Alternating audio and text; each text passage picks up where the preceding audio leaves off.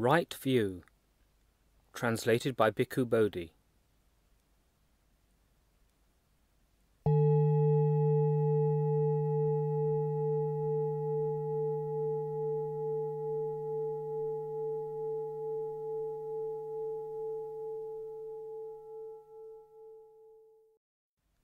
Thus have I heard. On one occasion the Blessed One was living at Savatthi, in Jeta's Grove, Anathapindika's park. There the Venerable Sariputta addressed the bhikkhus thus Friends, bhikkhus? Friend, they replied. The Venerable Sariputta said this One of right view, one of right view is said, friends. In what way is a noble disciple one of right view, whose view is straight, who has unwavering confidence in the Dhamma, and has arrived at this true Dhamma? Indeed, friend, we would come from far away to learn from the Venerable Sariputta the meaning of this statement. It would be good if the Venerable Sariputta would explain the meaning of this statement. Having heard it from him, the bhikkhus will remember it then, friends, listen and attend closely to what I shall say. Yes, friend, the bhikkhus replied.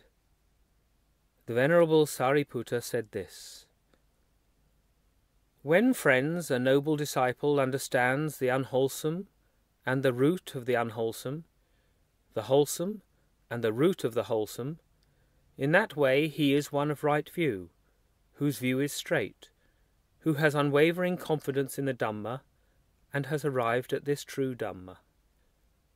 And what, friends, is the unwholesome? What is the root of the unwholesome? What is the wholesome? What is the root of the wholesome? Killing living beings is unwholesome. Taking what is not given is unwholesome. Misconduct in sensual pleasures is unwholesome. False speech is unwholesome. Malicious speech is unwholesome. Harsh speech is unwholesome. Gossip is unwholesome. Covetousness is unwholesome. Ill will is unwholesome. Wrong view is unwholesome. This is called the unwholesome. And what is the root of the unwholesome? Greed is a root of the unwholesome. Hate is a root of the unwholesome. Delusion is a root of the unwholesome. This is called the root of the unwholesome. And what is the wholesome? Abstention from killing living beings is wholesome. Abstention from taking what is not given is wholesome. Abstention from misconduct in sensual pleasures is wholesome. Abstention from false speech is wholesome.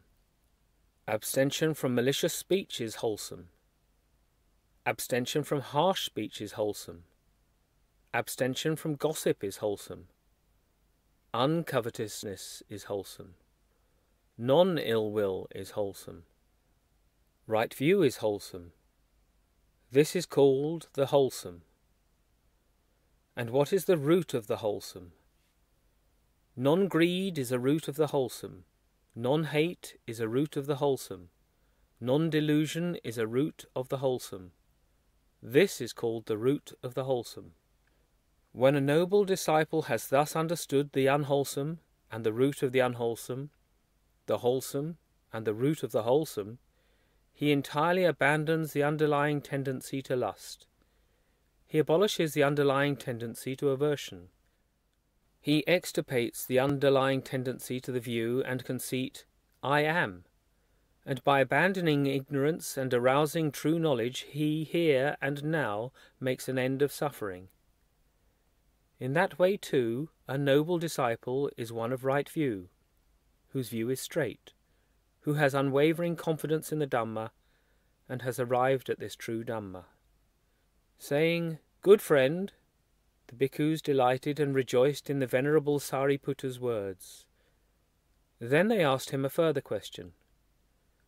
But friend, might there be another way in which a noble disciple is one of right view, whose view is straight, who has unwavering confidence in the Dhamma and has arrived at this true Dhamma?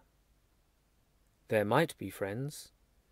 When friends, a noble disciple understands nutriment, the origin of nutriment, the cessation of nutriment, and the way leading to the cessation of nutriment, in that way he is one of right view, whose view is straight, who has unwavering confidence in the Dhamma, and has arrived at this true Dhamma. And what is nutriment?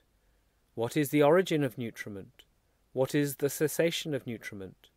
What is the way leading to the cessation of nutriment? There are four kinds of nutriment for the maintenance of beings that already have come to be, and for the support of those about to come to be. What for?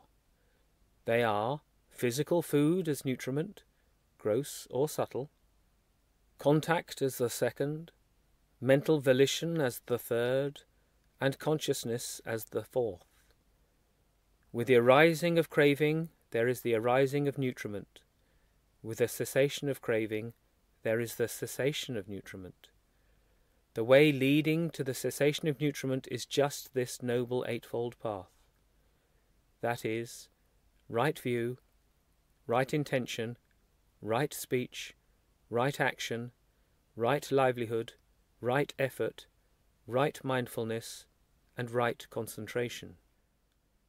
When a noble disciple has thus understood nutriment, the origin of nutriment, the cessation of nutriment, and the way leading to the cessation of nutriment, he entirely abandons the underlying tendency to greed. He abolishes the underlying tendency to aversion. He extirpates the underlying tendency to the view and conceit, I am, and by abandoning ignorance and arousing true knowledge, he here and now makes an end of suffering. In that way, too, a noble disciple is one of right view, whose view is straight, who has unwavering confidence in the Dhamma, and has arrived at this true Dhamma. Saying, Good friend, the bhikkhus delighted and rejoiced in the venerable Sariputta's words. Then they asked him a further question.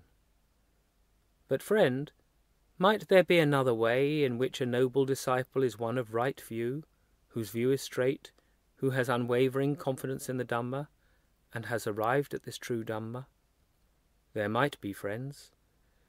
When, friends, a noble disciple understands suffering, the origin of suffering, the cessation of suffering, and the way leading to the cessation of suffering, in that way he is one of right view, whose view is straight, who has unwavering confidence in the Dhamma, and has arrived at this true Dhamma. And what is suffering? What is the origin of suffering? What is the cessation of suffering? What is the way leading to the cessation of suffering? Birth is suffering, aging is suffering, sickness is suffering, death is suffering. Sorrow, lamentation, pain, grief, and despair are suffering, not to obtain what one wants is suffering. In short, the five aggregates affected by clinging are suffering. This is called suffering. And what is the origin of suffering? It is craving which brings renewal of being, is accompanied by delight and lust, and delights in this and that. That is craving for sensual pleasures, craving for being, and craving for non being. This is called the origin of suffering. And what is the cessation of suffering? It is the remainderless fading away and ceasing, the giving up, relinquishing, letting go, and rejecting of that same craving. This is called the cessation of suffering. And what is the way leading to the cessation of suffering? It is just this noble eightfold path, that is, right view, right intention, right speech, right action, right livelihood, right effort, right mindfulness, and right concentration. This is called the way leading to the cessation of suffering. When a noble disciple has thus understood suffering, the origin of suffering, the cessation of suffering, and the way leading to the cessation of suffering, he entirely abandons the underlying tendency to greed. He abolishes the underlying tendency to aversion. He extirpates the underlying tendency to the view and conceit, I am. and by abandoning ignorance and arousing true knowledge, he here and now makes an end of suffering. In that way, too, a noble disciple is one of right view, whose view is straight, who has unwavering confidence in the Dhamma, and has arrived at this true Dhamma. Saying, Good friend, the bhikkhus delighted and rejoiced in the Venerable Sariputta's words. Then they asked him a further question. But friend, might there be another way in which a noble disciple is one of right view, whose view is straight, who has unwavering confidence in the Dhamma, and has arrived at this true Dhamma? There might be friends. When friends, a noble disciple understands aging and death, the origin of aging and death, the cessation of aging and death, and the way leading to the cessation of aging and death. In that way he is one of right view, whose view is straight, who has unwavering confidence in the Dhamma, and has arrived at this true Dhamma. And what is aging and death? What is the origin of aging and death? What is the cessation of aging and death? What is the way leading to the cessation of aging and death? The aging of beings in the various orders of beings, their old age, brokenness of teeth, greyness of hair, wrinkling of skin, decline of life, weakness of faculties, this is called aging. The passing of beings out of the various orders of beings, their passing away, dissolution, disappearance, dying, completion of time, dissolution of the aggregates, laying down of the body, this is called death. So this aging and this death are what is called aging and death. With the arising of birth, there is the arising of aging and death. With the cessation of birth, there is the cessation of aging and death. The way leading to the cessation of aging and death is just this noble eightfold path.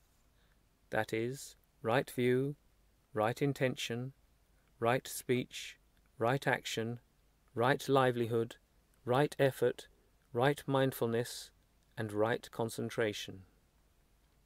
When a noble disciple has thus understood aging and death, the origin of aging and death, the cessation of aging and death, and the way leading to the cessation of aging and death, he entirely abandons the underlying tendency to greed. He abolishes the underlying tendency to aversion. He extirpates the underlying tendency to the view and conceit, I am, and by abandoning ignorance and arousing true knowledge, he here and now makes an end of suffering. In that way, too, a noble disciple is one of right view, whose view is straight, who has unwavering confidence in the Dhamma, and has arrived at this true Dhamma. Saying, Good friend, the bhikkhus delighted and rejoiced in the Venerable Sariputta's words. Then they asked him a further question. But friend, might there be another way in which a noble disciple is one of right view, whose view is straight, who has unwavering confidence in the Dhamma, and has arrived at this true Dhamma? There might be friends. When friends, a noble disciple understands birth, the origin of birth, the cessation of birth, and the way leading to the cessation of birth, in that way he is one of right view, whose view is straight, who has unwavering confidence in the Dhamma, and has arrived at this true Dhamma. And what is birth? What is the origin of birth? What is the cessation of birth? What is the way leading to the cessation of birth? The birth of beings in the various orders of beings, their coming to birth, precipitation in a womb, generation, manifestation of the aggregates, obtaining the basis for contact, this is called birth. With the arising of being, there is the arising of birth. With the cessation of being, there is the cessation of birth. The way leading to the cessation of birth is just this noble eightfold path. That is, right view, right intention, right speech, right action, right livelihood, right effort, right mindfulness, and right concentration.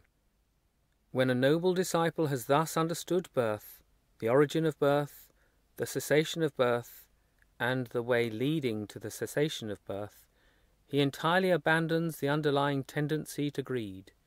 He abolishes the underlying tendency to aversion.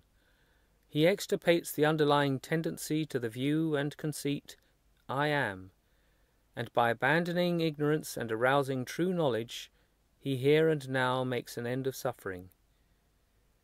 In that way, too, a noble disciple is one of right view, whose view is straight, who has unwavering confidence in the Dhamma, and has arrived at this true Dhamma. Saying, Good friend, the bhikkhus delighted and rejoiced in the Venerable Sariputta's words. Then they asked him a further question.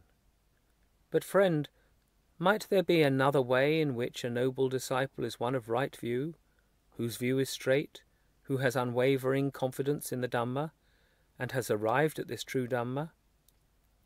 There might be friends. When friends, a noble disciple understands being, the origin of being, the cessation of being, and the way leading to the cessation of being, in that way he is one of right view, whose view is straight, who has unwavering confidence in the Dhamma, and has arrived at this true Dhamma. And what is being? What is the origin of being? What is the cessation of being? What is the way leading to the cessation of being? There are these three kinds of being sense sphere being, fine material being, and immaterial being. With the arising of clinging, there is the arising of being. With the cessation of clinging, there is the cessation of being. The way leading to the cessation of being is just this noble eightfold path. That is, right view, right intention, right speech, right action, right livelihood, right effort, right mindfulness, and right concentration.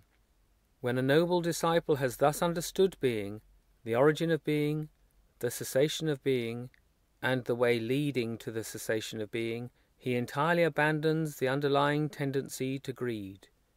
He abolishes the underlying tendency to aversion. He extirpates the underlying tendency to the view and conceit, I am, and by abandoning ignorance and arousing true knowledge, he here and now makes an end of suffering.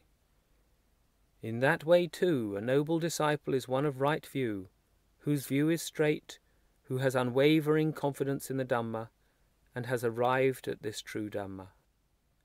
Saying, Good friend, the bhikkhus delighted and rejoiced in the Venerable Sariputta's words. Then they asked him a further question. But friend, might there be another way in which a noble disciple is one of right view, whose view is straight, who has unwavering confidence in the Dhamma, and has arrived at this true Dhamma? There might be friends. When friends, a noble disciple understands clinging, the origin of clinging, the cessation of clinging, and the way leading to the cessation of clinging, in that way he is one of right view, whose view is straight, who has unwavering confidence in the Dhamma, and has arrived at this true Dhamma. And what is clinging? What is the origin of clinging? What is the cessation of clinging? What is the way leading to the cessation of clinging? There are these four kinds of clinging clinging to sensual pleasures, clinging to views, clinging to rules and observances, and clinging to a doctrine of self. With the arising of craving, there is the arising of clinging. With the cessation of craving, there is the cessation of clinging. The way leading to the cessation of clinging is just this noble eightfold path. That is, right view, right intention, right speech, right action, right livelihood, right effort, right mindfulness, and right concentration. When a noble disciple has thus understood clinging, the origin of clinging, the cessation of clinging, and the way leading to the cessation of clinging, he entirely abandons the underlying tendency to greed. He abolishes the underlying tendency to aversion. He extirpates the underlying tendency to the view and conceit, I am. and by abandoning ignorance and arousing true knowledge, he here and now makes an end of suffering. In that way, too, a noble disciple is one of right view, whose view is straight, who has unwavering confidence in the Dhamma, and has arrived at this true Dhamma. Saying, Good friend, the bhikkhus delighted and rejoiced in the Venerable Sariputta's words. Then they asked him a further question. But, friend, might there be another way in which a noble disciple is one of right view, whose view is straight, who has unwavering confidence in the Dhamma and has arrived at this true Dhamma? There might be, friends. When, friends, a noble disciple understands craving, the origin of craving, the cessation of craving, and the way leading to the cessation of craving, in that way he is one of right view, whose view is straight, who has unwavering confidence in the Dhamma, and has arrived at this true Dhamma. And what is craving? What is the origin of craving? What is the cessation of craving? What is the way leading to the cessation of craving? There are these six classes of craving craving for forms, craving for sounds, craving for odours, craving for flavours, craving for tangibles, craving for mind objects. With the arising of feeling, there is the arising of craving. With the cessation of feeling, there is the cessation of craving. The way leading to the cessation of craving is just this noble eightfold path that is, right view, right intention, right speech, right action, right livelihood, right effort, right mindfulness, and right concentration. When a noble disciple has thus understood craving, the origin of craving, the cessation of craving, and the way leading to the cessation of craving, he entirely abandons the underlying tendency to greed. He abolishes the underlying tendency to aversion. He extirpates the underlying tendency to the view and conceit, I am, and by abandoning ignorance and arousing true knowledge, he here and now makes an end of suffering. In that way, too, a noble disciple is one of right view, whose view is straight, who has unwavering confidence in the Dhamma, and has arrived at this true Dhamma. Saying, Good friend, the bhikkhus delighted and rejoiced in the Venerable Sariputta's words. Then they asked him a further question. But, friend, might there be another way in which a noble disciple is one of right view, whose view is straight, who has unwavering confidence in the Dhamma, and has arrived at this true Dhamma? There might be, friends. When, friends, a noble disciple understands feeling, the origin of feeling, the cessation of feeling, and the way leading to the cessation of feeling, in that way he is one of right view, whose view is straight, who has unwavering confidence in the Dhamma and has arrived at this true Dhamma. And what is feeling? What is the origin of feeling? What is the cessation of feeling? What is the way leading to the cessation of feeling? There are these six classes of feeling feeling born of eye contact, feeling born of ear contact, feeling born of nose contact, feeling born of tongue contact, feeling born of body contact, feeling born of mind contact. With the arising of contact, there is the arising of feeling. With the cessation of contact, there is the cessation of feeling. The way leading to the cessation of feeling is just this noble eightfold path. That is, right view, right intention, right speech, right action, right livelihood, right effort, right mindfulness, and right concentration. When a noble disciple has thus understood feeling, the origin of feeling, the cessation of feeling, and the way leading to the cessation of feeling, he entirely abandons the underlying tendency to greed. He abolishes the underlying tendency to aversion. He extirpates the underlying tendency to the view and conceit, I am, and by abandoning ignorance and arousing true knowledge, he here and now makes an end of suffering. In that way, too, a noble disciple is one of right view, whose view is straight, who has unwavering confidence in the Dhamma, and has arrived at this true Dhamma. Saying, Good friend, the bhikkhus delighted and rejoiced in the Venerable Sariputta's words. Then they asked him a further question. But friend, might there be another way in which a noble disciple is one of right view, whose view is straight, who has unwavering confidence in the Dhamma, and has arrived at this true Dhamma? There might be friends. When friends, a noble disciple understands contact, the origin of contact, the cessation of contact, and the way leading to the cessation of contact. In that way he is one of right view, whose view is straight, who has unwavering confidence in the Dhamma, and has arrived at this true Dhamma. And what is contact? What is the origin of contact? What is the cessation of contact? What is the way leading to the cessation of contact? There are these six classes of contact eye contact, ear contact, nose contact, tongue contact, body contact, mind contact. With the arising of the sixfold base, there is the arising of contact. With the cessation of the sixfold base, there is the cessation of contact. The way leading to the cessation of contact is just this noble eightfold path. That is, right view, right intention, right speech, right action, right livelihood, right effort, right mindfulness, and right concentration. When a noble disciple has thus understood contact, the origin of contact, the cessation of contact, and the way leading to the cessation of contact, he entirely abandons the underlying tendency to greed. He abolishes the underlying tendency to aversion. He extirpates the underlying tendency to the view and conceit, I am, and by abandoning ignorance and arousing true knowledge, he here and now makes an end of suffering. In that way, too, a noble disciple is one of right view, whose view is straight, who has unwavering confidence in the Dhamma, and has arrived at this true Dhamma. Saying, Good friend, the bhikkhus delighted and rejoiced in the Venerable Sariputta's words. Then they asked him a further question.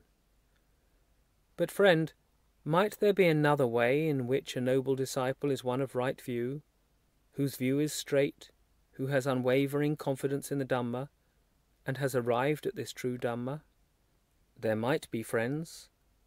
When friends, a noble disciple understands the sixfold base, the origins of the sixfold base, the cessation of the sixfold base, and the way leading to the cessation of the sixfold base, in that way he is one of right view, whose view is straight, who has unwavering confidence in the Dhamma, and has arrived at this true Dhamma. And what is the sixfold base? What is the origin of the sixfold base? What is the cessation of the sixfold base? What is the way leading to the cessation of the sixfold base? There are these six bases the eye base, the ear base, the nose base, the tongue base, the body base, the mind base. With the arising of mentality, materiality, there is the arising of the sixfold base. With the cessation of mentality, materiality, there is the cessation of the sixfold base.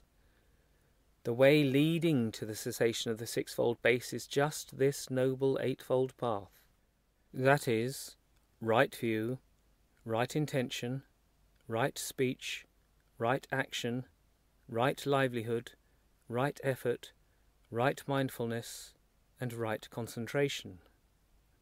When a noble disciple has thus understood the sixfold base, the origin of the sixfold base, the cessation of the sixfold base, and the way leading to the cessation of the sixfold base, he entirely abandons the underlying tendency to greed he abolishes the underlying tendency to aversion.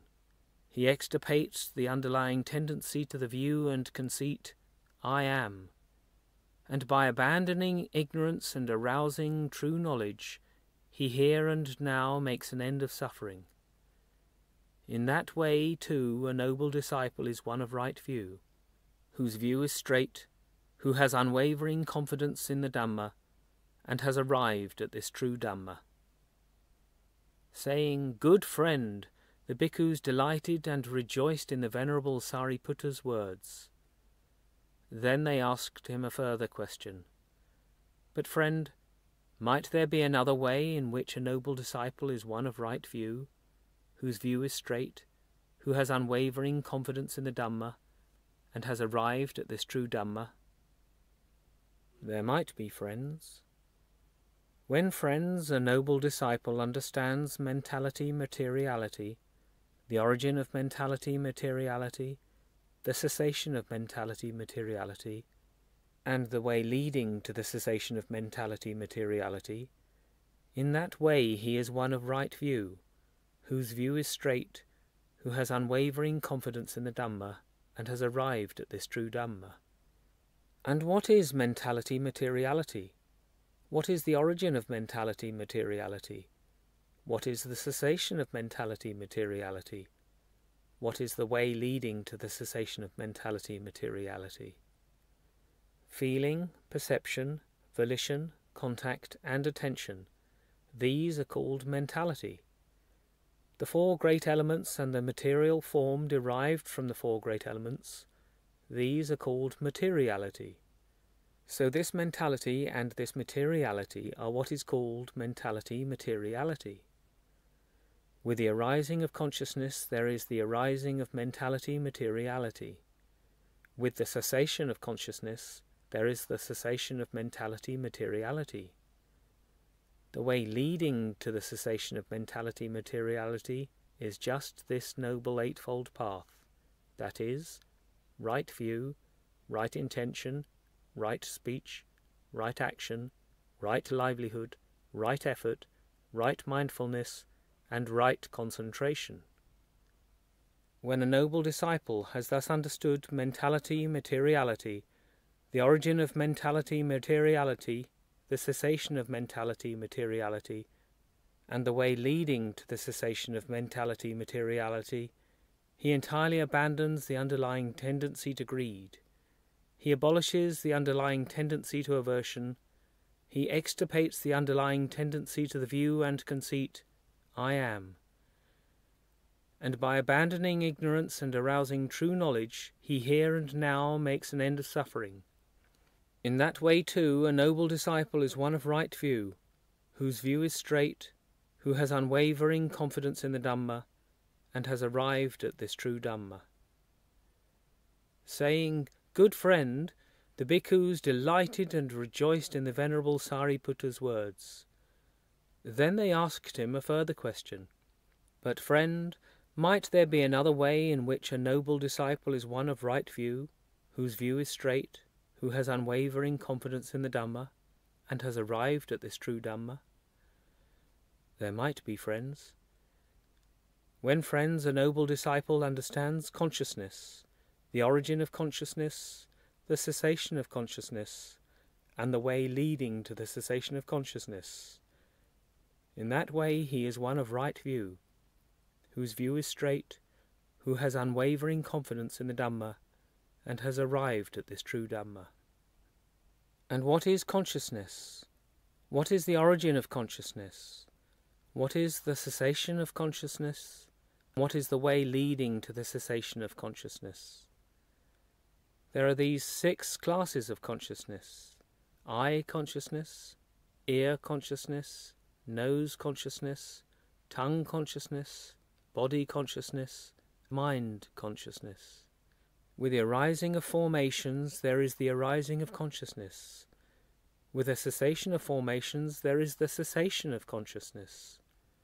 The way leading to the cessation of consciousness is just this noble eightfold path that is, right view, right intention, right speech, right action, right livelihood, right effort, right mindfulness, and right concentration.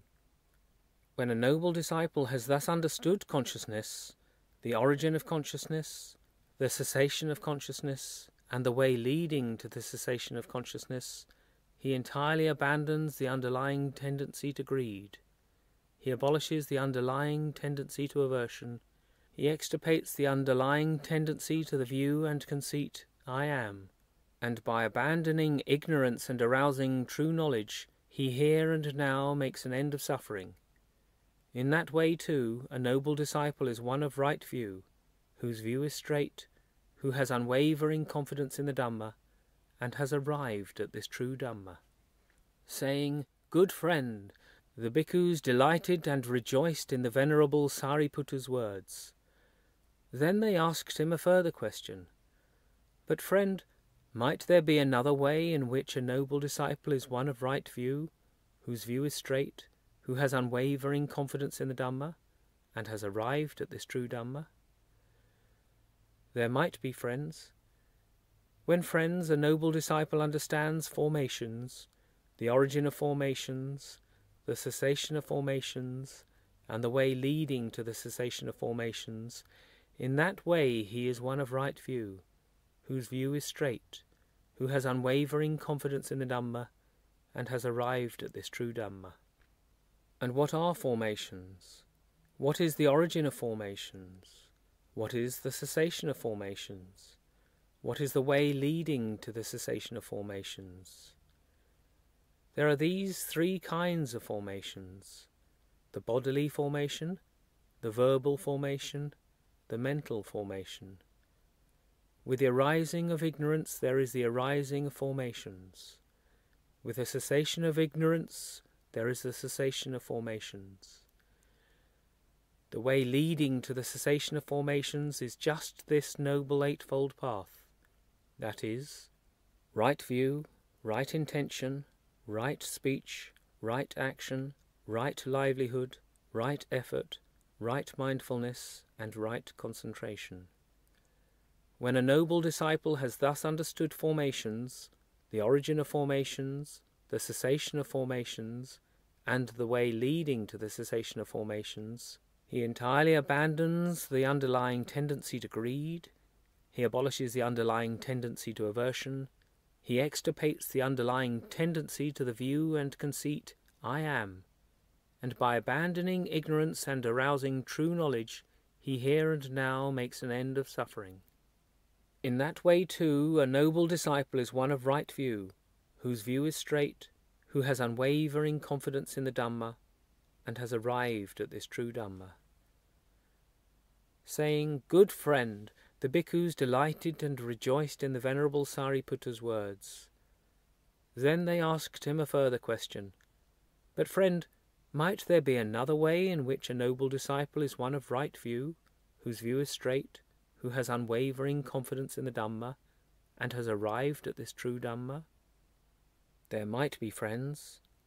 When friends, a noble disciple understands ignorance, the origin of ignorance, the cessation of ignorance, and the way leading to the cessation of ignorance, in that way he is one of right view, whose view is straight, who has unwavering confidence in the Dhamma, and has arrived at this true Dhamma.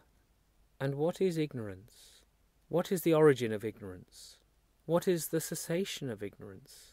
What is the way leading to the cessation of ignorance? Not knowing about suffering, not knowing about the origin of suffering, not knowing about the cessation of suffering, not knowing about the way leading to the cessation of suffering. This is called ignorance. With the arising of the taints there is the arising of ignorance. With the cessation of the taints there is the cessation of ignorance.